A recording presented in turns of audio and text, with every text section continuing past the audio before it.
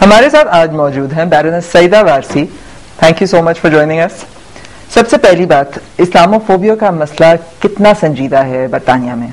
Britain की history में ये मौके आए हैं जब वो एंटायरली कंफर्टेबल नहीं था नहीं थी अपनी माइनॉरिटी रिलीजियस कम्युनिटीज के बारे में। चाहे वो कैथलिक कम्युनिटी थी चाहे उसके बाद वो जूइश कम्युनिटी थी और मोर रिसेंटली वो मुस्लिम कम्युनिटी है।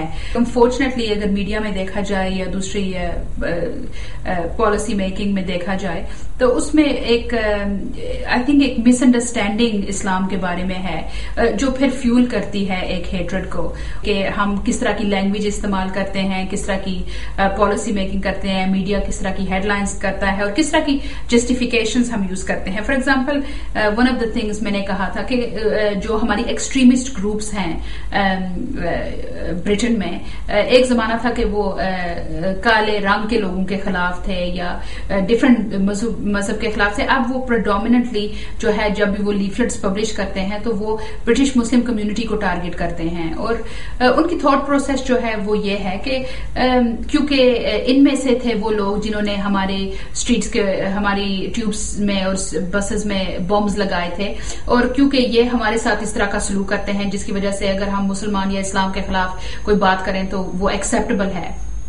और दूसरी बात की आर्ग्यूमेंट ये वो करते हैं कि अगर कुरान शरीफ में देखा जाए तो अगर आप कुछ फ्रेजेस इस्तेमाल करें तो वो सामने नज़र आता है कि वो कुरान की टीचिंग्स और जो हमारा रहन सहन है वेस्ट में उसके साथ वो कंपेटेबल नहीं है। और इन, दोनों आर्ग्यूमेंट्स को मैंने चैलेंज किया था। पहले तो मैंने ये कहा था कि देखो अगर कुछ माइनॉरिटी है एक मज़हब में जो एक्सट्रीम काम करते हैं तो पूरी कम्युनिटी को उनके साथ एसोसिएट करना एक बहुत गलत पॉलिसी पॉलिसी है। वो इस नेगेटिव पॉलिसी मेकिंग क्योंकि आप उस पूल को इंक्रीज करते हैं जिसमें ज़्यादा एक्सट्रीमिस्ट बनेंगे क्योंकि आप उनको लेजिटमेसी देते हैं एक्सट्रीमिस्ट को एक मज़हब की लेजिटमेसी देते हैं।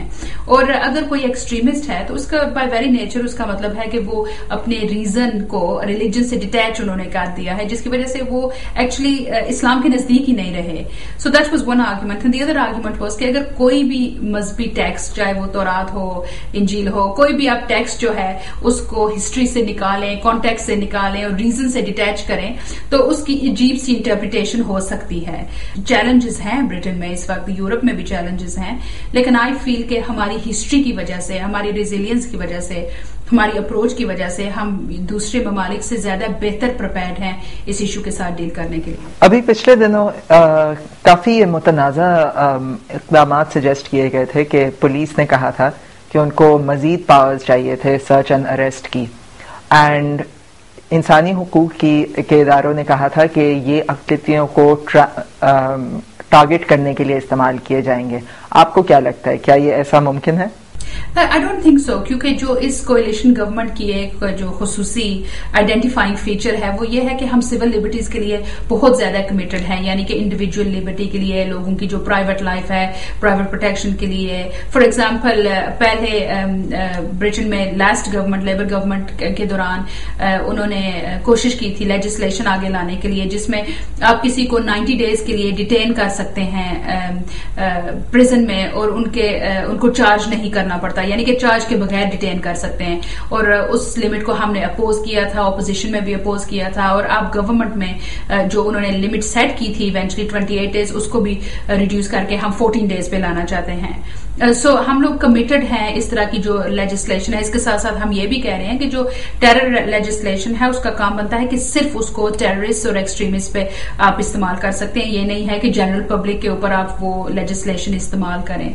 आपको लगता है कि इतना इतनी ज़्यादा सिग्निफिकेंट पॉपुलेशन है मुसलमानों की बरतानिया में? उसके बावजूद एक सर्टन अमाउंट ऑफ़ इंटीग्रेशन नहीं हो पाई है। आपको क्या लगता है ये क्या मसला कुन है आगे जाकर? आई थिंक कि जो भी माइनॉरिटी कम्युनिटी किसी और मुल्क में जाती है तो वो ज़्यादातर अपने कल्चर को और अपने मज़हब को कुछ ज़्यादा ही बाँध लेते हैं। ऑलमोस्ट वो फ्रोजन इन टाइम हो जाते हैं कि सिक्सटीज में गए थे तो अभी तक भी वो नाइनटीन सिक्सटीज में हैं।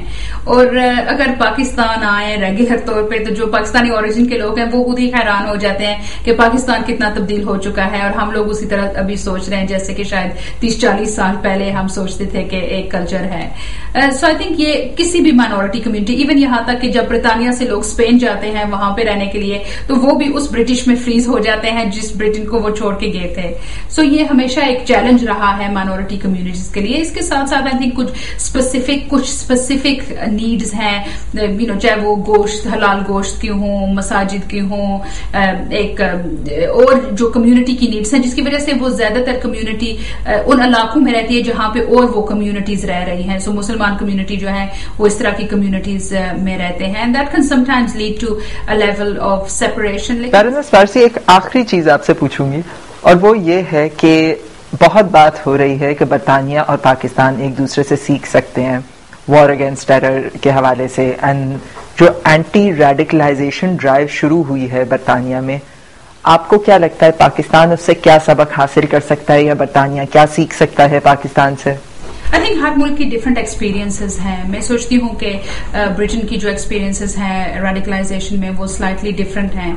आई थिंक जो डेस्परेशन और जो एक फीलिंग होती है कि मेरे पाकिस्तान में अगर जॉब ना हो, मकान ना हो, घर के हालात खराब हों, कोई फ्यूचर ना नज़र आए तो रेडिकलाइजेशन का एक रूट अट्रैक्टिव लगता है, क्योंकि वो एक मकसद बन जाता है ज़िंदगी में।